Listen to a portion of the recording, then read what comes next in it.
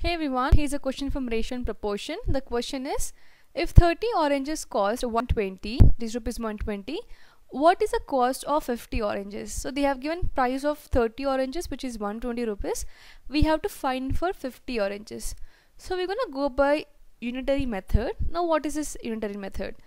Unitary method means we're gonna find out for the cost of one orange and then later we're gonna find out for whatever is given in the question. So how to solve this?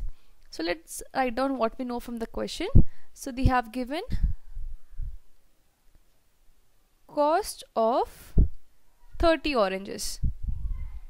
So cost of 30 oranges is equal to rupees 120.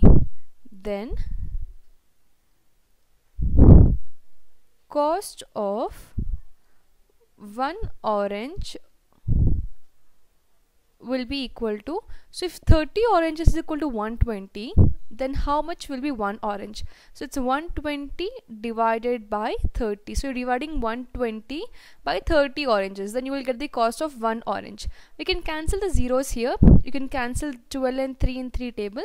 This is 3 ones are and then 3 fours are 12 so we'll get 4 means the cost is 4 rupees here this is rupees 4 now since we got the cost of one orange, now it's easy to find out the cost of 50 oranges. So therefore, cost of 50 oranges will be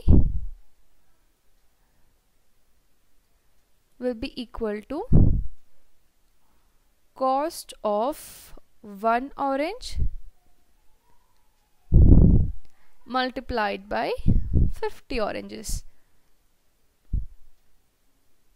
Or just write down 50 so cost of one orange is rupees 4 so rupees 4 multiplied by 50 oranges. So I'll write down only 50 so 4 into 50 is 200 so this is equal to rupees 200 so cost of 50 oranges is rupees 200 so this is unitary method. You can apply the same technique for any other question also so I hope it's clear. In case you have any further questions or doubts you can drop a comment below. Thank you so much for watching